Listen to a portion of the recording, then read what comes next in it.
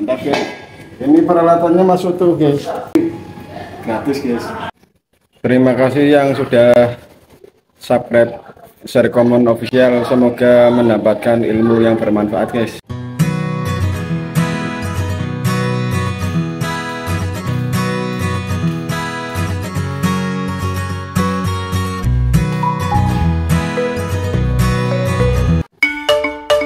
Hari ini saya akan memperbaiki kompor gas guys ini katanya yang punya mati tidak bisa menyala guys. Kita nunggu tabungnya dulu guys. Tabungnya sudah disimpan guys. Ini sudah ditutup. Ini ada di kantin sekolah guys. Terima kasih yang sudah subscribe share common official. Semoga mendapatkan ilmu yang bermanfaat guys ini kompor merek Rina ya guys. Ini belum dicoba soalnya belum ada tabungnya guys. Nanti kita lihat sama-sama penyakitnya apa guys.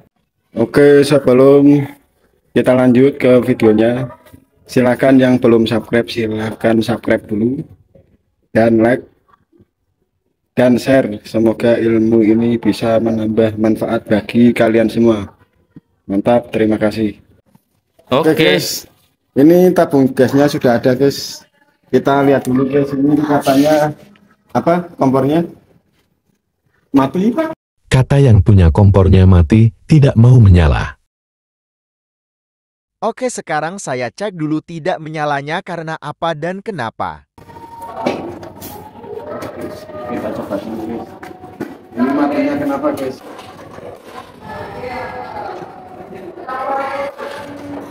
iya guys nggak bisa nyala guys. Kita cek dulu ini apakah gasnya keluar atau tidak guys. Oh ini gasnya nggak keluar guys. Ini yang punya kompor ini tidak tahu guys. Kiranya mati karena kompornya tapi ternyata setelah saya cek ini gasnya belum keluar. Ini soalnya saya cium tidak ada bau gas di sini posisi on tapi tidak ada bau gas jadi artinya ini kompornya belum ada aliran gas yang keluar otomatis kompor tidak bisa guys sekarang kita cek guys bagian regulatornya guys soalnya ini kompornya kelihatannya masih bagus. Berhubung ini gasnya nggak keluar otomatis yang punya kompor ini mengirimnya kompornya rusak guys. Sekarang kita cek inilah guys ini guys diketuk sekarang kita cek guys.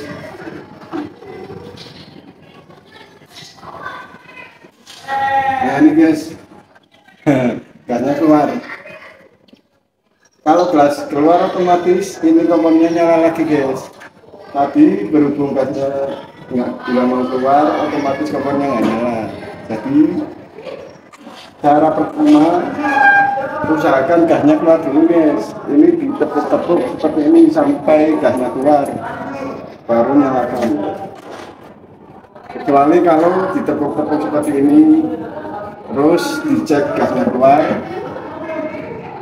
Terus kalau dinyalakan seperti ini tidak mau menyala berarti ada yang rusak.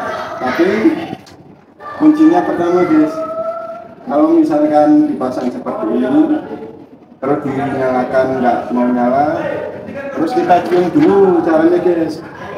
Dicium dulu ini kita dulu. Misalkan ini dicium dulu kalau enggak bau gas berarti kendalanya dari sini. Oke paham guys? Mantap.